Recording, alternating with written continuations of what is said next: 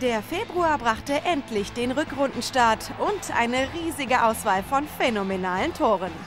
Schade, dass wir euch nur sechs davon zeigen können. Dafür aber die absoluten Topwürfe.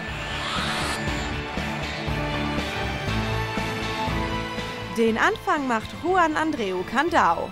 Der Kreisläufer aus Hannover erkämpft sich den Ball und bringt ihn im Rückwärtsfallen blind im Tor unter. Good job!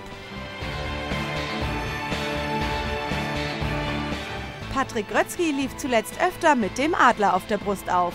Beim All-Star-Game war der Rechtsaußen in bester Spiellaune und beförderte diesen Gegenstoßpass von Silvio Heinevetter per spektakulärem Rückhandcamper ins Tor.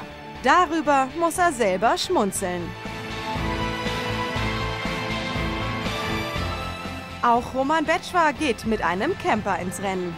Der Tscheche des HC Empor Rostock stiehlt sich hinter der Abwehr vorbei taucht erst nach dem Absprung wieder auf und schleudert das Ding quer in der Luft liegend ins Tor. No-Look-Abschlüsse lagen im Februar wohl im Trend. Wie Christian Liebert vom Bezirksligisten ETSV Offenburg den reinmacht, fragen wir uns auch noch. Fakt ist, dieser Rückhandwurf muss in unsere Auswahl. Schnörkellos, ansatzlos, gnadenlos. Uwe Gensheimer knallt Matthias Andersson aus vollem Lauf einen Strahl in den Kasten, bei dem einem das Tornetz leid tun kann. Eiskalt.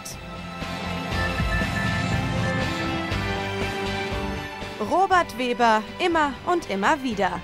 Beim All-Star-Game packte er gemeinsam mit Göppingens Marcel Schiller diesen Camper durch die Beine aus. Bei dem Mann macht das Zuschauen einfach Spaß.